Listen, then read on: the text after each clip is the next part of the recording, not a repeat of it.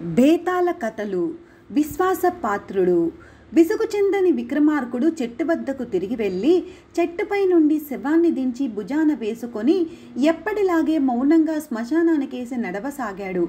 అప్పుడు శవంలోని బేతాళుడు రాజా విశ్వాసపాత్రులు ప్రభుభక్తి పరాయణులు అయిన భృత్యులు తమను పోషించే రాజుల కోసం ఎండనక వాననక అన్ని కష్టాలు పడుతూ వీరుని వలె తమ ప్రభువు క్షేమం కోసం తమ కుటుంబాలను సైతం బలిపెట్టడం కద్దు. కానీ నీ పోటి మహారాజు ఒక యాచకుడి కోసం ఇలా శ్రమించడం ఎప్పుడూ కనలేదు వినలేదు. నీకు శ్రమ తెలియకుండా ఉండేందుకు ఆ వీరవరుడి కథ చెబుతాను. విను అంటూ ఈ విధంగా చెప్పసాగాడు. పూర్వం శోభావతి అనే నగరాన్ని సూత్రకుడు అనే మహారాజు ఏలుతూ ఉండేవాడు. ఆయన సూరప్రియుడు ధర్మప్రియుడు. ఆయనది సాక్షాత్ రామరాజ్యమే. ఇలా ఉండగా మాలవ దేశం నుండి వీరవరుడు అనే బ్రాహ్మణుడు సూత్రిక మహారాజు వద్దకు వచ్చి కొలువుకు చేరాడు. ఆ బ్రాహ్మణుడు చేతిలో కత్తి డాలు మొలను ఒక బాకు చూసి అతను మహాసురుడై ఉంటాడని ఊహించి రాజు ఏమి జీతం కోరుతావు? అని అడిగాడు. రోజుకు ఐదు వందల దీనారాలు ఇప్పించండి అని వీరవరుడు కోరాడు. అది చాలా ఎక్కువ జీతమే. అయినా రాజు సరేనని వీరవరుణ్ణి కొలువులో పెట్టుకున్నాడు. అయితే రాజుకు ఒక సందేహం కలిగింది. ఈ బ్రాహ్మణుడు రోజు ఐదు వందల దీనారాల బంగారం తీసుకుపోయి ఏం చేస్తాడు? ఈ సంగతి తెలుసుకోమని రాజు తన వేగుల వాళ్ళను నియమించారు వాళ్ళు తిరిగి వచ్చి రాజుతో వీరవరుడి దినచర్యలు వివరించారు. రోజు అతను ఉదయమే రాజభవనానికి వచ్చి కత్తి చేత పట్టుకొని మధ్యాహ్నం దాకా హజారంలో నిలబడతాడు. మధ్యాహ్నం తన జీతం పుచ్చుకొని ఇంటికి పోతాడు. ఇంటి ఖర్చుకు పోగా భార్యకు నూరు దీనారాలు ఇస్తారు. మరో నూరు దీనారాలు బట్టలు అలంకరణలకు ఖర్చు పెడతాడు. మరి నూరు దీనారాలు దైవ పూజకు వినియోగిస్తాడు. మిగిలిన రెండు వందల దీనారాలు బ్రాహ్మణులకు దరిద్రులకు దానం చేస్తాడు. వీరవరుడి వ్యసనాలేమీ లేవు. ఆయన కుటుంబంలో ఆయన భార్య కుమారుడు కుమార్తె తప్ప మరెవ్వరూ లేరు. ఈ విషయాలన్నీ తెలుసుకొని రాజు తృప్తిపడి తాను వీరవరుడికి ఇచ్చే పెద్ద జీతం సరిగ్గానే వినియోగం అవుతుందని సంతోషించాడు. పోతే ఈ వీరవరుడు తనకు కొలువు ఏ విధంగా చేస్తున్నాడో తెలుసుకోవాలని ఆయనకు కుతూహలం కలిగింది. రాత్రంతా వీరవరుడు సింహద్వారంలో కత్తి దూసి నిలబడి ఉండేవాడు. రాత్రివేళ లేచి ఎవరు సింహద్వారంలో అని కేకేసినా నేను మహారాజా వీరవరుణ్ణి అని సమాధానం వినిపించేది. వేసవి అయ్యేది వర్షాకాలం అయ్యేది పిడుగులు పడేవి. వీరవరుడు సింహద్వారంలోనే ప్రతిమలాగా నిలబడి ఉండేవాడు. ఈ వీరవరుడు నిజంగా చాలా గట్టివాడు. నా సేవలో ఏం మాత్రం ఏమరపాటు రానివ్వడు అని రాజు సంతోషించేవాడు. ఒక రాత్రి ఎడతెరిపి లేకుండా జడివాన కురుస్తుంది. నక్షత్రాలు లేని కారణంగా అంతటా కటిక చీకటి అలుముకొని ఉంది. మేడ మీద ఉన్న రాజుకు దూరాన ఎవరో స్త్రీ ఏడుస్తున్న ధ్వని వినిపించింది. తన రాజ్యంలో బాధితులు దుఃఖితులు ఉండడం రాజు భరించలేడు. అందుచేత ఆయన ఎవరు సింహద్వారంలో? అని కేక పెట్టాడు నేను మహారాజా వీరవరుణ్ణి అని జవాబు వచ్చింది. చూడు వీరవరా ఎక్కడో స్త్రీ ఏడుస్తుంది.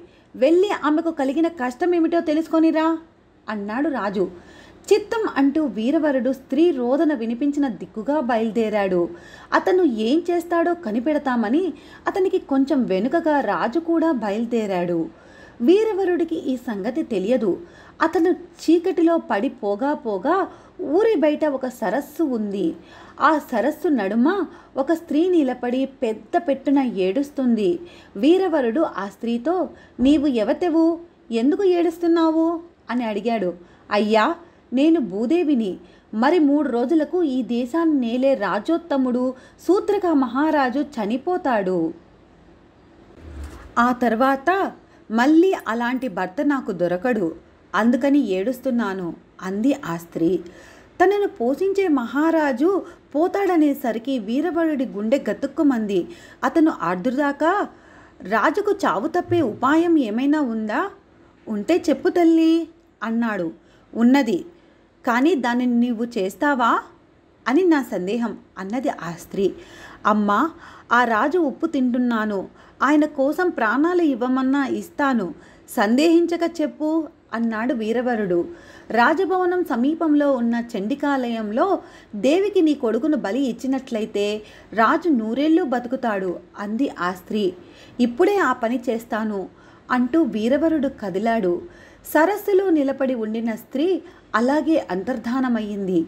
ఇదంతా చూస్తూ ఉన్న రాజుకు అమిత ఆశ్చర్యమయ్యింది. ఏం జరుగుతుందో చూద్దామని ఆయన చీకట్లో వీరవరుడి వెంట మళ్ళీ కదిలాడు. వీరవరుడు సరాసరి తన ఇంటికి వెళ్ళాడు. భార్యతో జరిగిందంతా చెప్పాడు. ఆమె భర్తతో మన రాజుగారికి మనం ఈ ఉపకారం తప్పక చేయవలసిందే. అబ్బాయిని లేపి వాడితో కూడా ఈ సంగతి చెప్పండి అని అన్నది.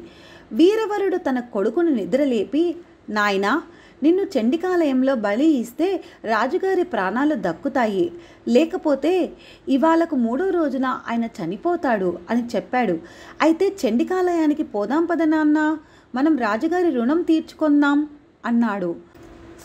మనం రాజుగారి రుణం తీర్చుకునేందుకు ఇది మంచి అవకాశం అన్నాడు కొడుకు.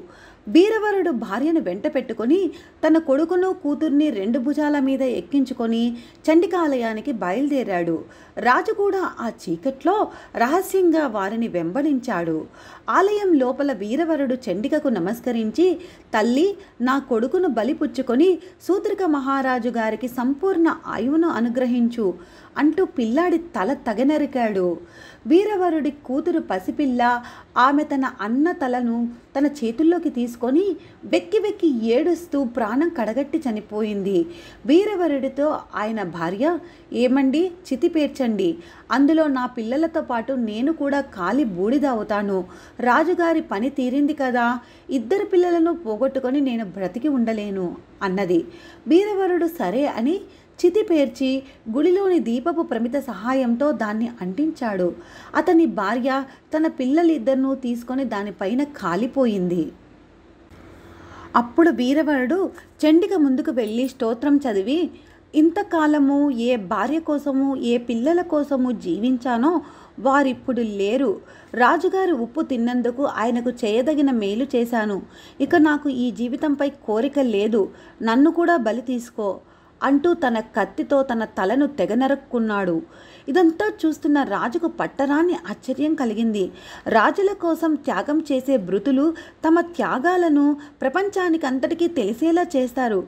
కానీ ఈ వీరవరుడు తన కోసం మూడో కంటికి తెలియకుండా సకుటుంబంగా బలి అయ్యాడు. రాజు చండికను సమీపించి దేవి నీవు శక్తివంతురాలివైతే నన్ను బలిపుచ్చుకొని నా కోసం బలి అయిన వీరవరుడి కుటుంబాన్ని తిరిగి బతికించు. నా ఒక్కడి కోసం ఇంతమంది ప్రాణాలు అర్పించడం అన్యాయం అంటూ కత్తి ఎత్తి తల తెగవేసుకోబోయాడు అంతలో ఆకాశం నుండి నాయనా ఆగు. వీరవరుడి కుటుంబాన్ని నేను బతికిస్తాను అన్న మాటలు వినపడ్డాయి. అప్పుడే వీరవరుడు ఆయన భార్య కొడుకులు కూతురు తిరిగి బతికారు. రాజు చాటుకు వెళ్ళి అటు నుండి తన ఇంటికి వెళ్ళిపోయాడు. వీరవరుడికి మాత్రం అంత కలలాగా ఉంది. ఆయన తన భార్యను బిడ్డలను చూసి ఏమిటిది? మీరంతా చితిపై కాలి బూడిద అయిపోలేదా? ఇంతకుముందు దేవి ఎదుట తల నరుక్కున్న నేను కూడా బ్రతికే ఉన్నాను. ఇదంతా తప్పక దేవి అనుగ్రహమే అనుకున్నాడు. తర్వాత వీరవరుడు తన వాళ్ళను ఇంటికి చేర్చి తాను మళ్ళీ రాజభవనానికి వెళ్ళాడు. అతని రాక కోసం పైనుండి గమనిస్తున్న రాజు ఏమీ ఎరగనట్లుగా ఎవరు సింహద్వారంలో? అని కేక పెట్టాడు. నేను మహారాజా వీరవరుణ్ణి. తమ ఆజ్ఞ ప్రకారం ఏడిచే మనిషిని వెతుక్కుంటూ వెళ్ళాను. ఎవరో రాక్షసిలాగా ఉంది. కనబడి కనపడకుండానే మాయమయ్యింది అన్నాడు. అంతేగాని అతను రాజువు దీర్ఘాయువు కోసం తన కొడుకును చండికకు బలి చేసిన సంగతి రాజుకు చెప్పనే లేదు. చచ్చిపోయిన వీరవరుడి కుటుంబాన్ని తాను బతికించిన విషయం కూడా రాజు రహస్యంగానే ఉంచాడు. ఇది జరిగాక రాజు వీరవరుడికి లాటరాజ్యము కర్ణాటక రాజ్యము ఇచ్చి తనతో సమానమైన హోదా కలవాణ్ణి చేశాడు. బేతాళుడు కథ చెప్పి రాజా వీరందరిలోనూ ఎవరు గొప్ప? వీరవరుడా?